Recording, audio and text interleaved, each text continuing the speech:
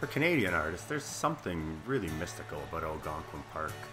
Just the name conjures up these images of Tom Thomson and the group of seven. When you're there painting, you can't help but feel you're part of this long history um, that's shared between Canadian artists and Algonquin Park that goes back well over 100 years. I recently had the opportunity to attend the park with over 20 artists of the Central Ontario Art Association. We'd spend our days in the park painting on location and our evenings uh, back at the Mad Musher Motel, sipping scotch, uh, sharing stories, talking about our art, and uh, singing songs to the accompaniment of an acoustic guitar. It was a fabulous weekend. Uh, we had every kind of weather actually I think I produced some uh, pretty nice little paintings.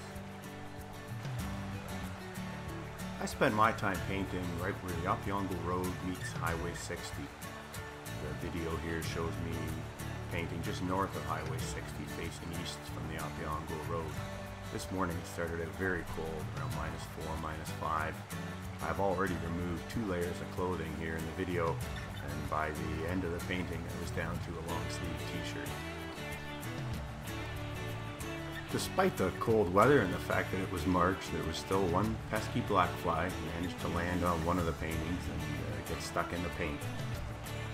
This was my final painting of the weekend, and I wanted to break it down into just simple elements, a lone pine tree cutting across the horizon, deep blue sky, and the light hitting the tree, I think this shows that sometimes a simple composition can be just as dramatic as the more complex, involved ones. I was very happy with this piece.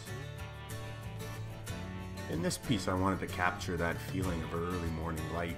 The sun is just peeking above the distant hills, but still leaving the uh, foreground rocks and trees in shadow.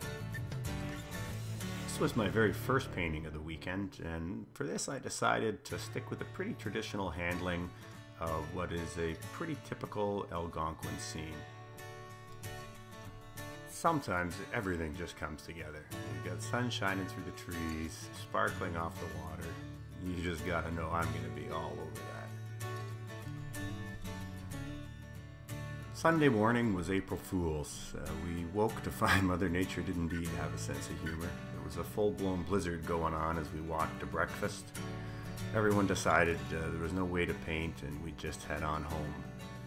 Somewhat gloomy ride was uh, enhanced by the sight of a mother moose and her calf.